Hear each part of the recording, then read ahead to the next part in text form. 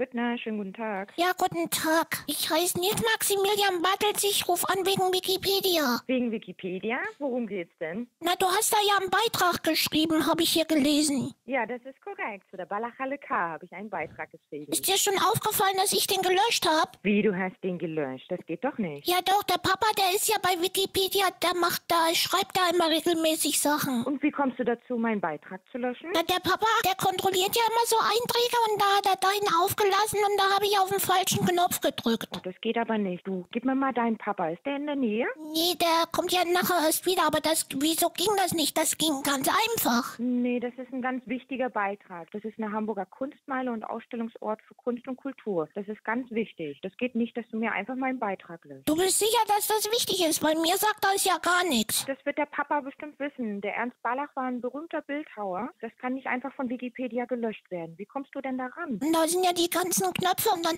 habe ich auf den Löschen drauf gedrückt. Oh. Kannst du den nochmal schreiben? Ja, naja, das ist viel Arbeit, du. Ja, dann muss ich das wohl. Ich guck gleich mal. Dann guck mal rein, bitte. Hm. Hm. Ja.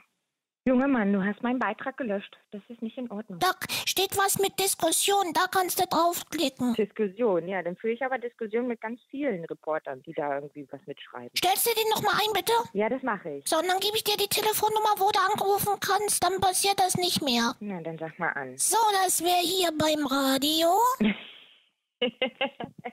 ja. Und dein Beitrag ist noch da, aber du musst ihn jetzt halt diskutieren. Okay, das werde ich machen. Und schreib nicht überall deine Telefonnummer rein, das kann schief gehen. okay, alles klar.